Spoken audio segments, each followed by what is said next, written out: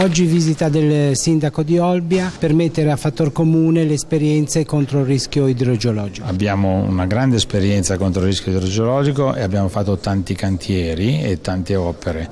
Eh, il sindaco di Olbia è interessato perché, ai nostri risultati e a quello che abbiamo fatto perché lì hanno un problema simile. Quindi è bello che le amministrazioni si parlino, è bello che si parli con Olbia, che è una città che ha molte relazioni con Genova.